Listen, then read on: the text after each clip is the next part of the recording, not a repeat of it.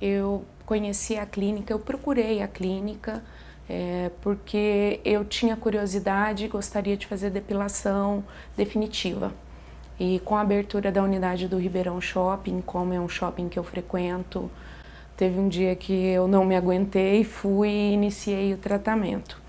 Eu gostei muito da recepção, eu acho que é algo diferenciado e gostei muito do resultado. Desde a primeira sessão eu senti bastante diferença no tratamento. Eu nunca tinha feito, fiz apenas uma região, fiz a fotodepilação na axila e com isso eu falei que eu me libertei, né? Porque nós moramos numa cidade quente e não dá para ficar esperando que dia vai dar para fazer a depilação.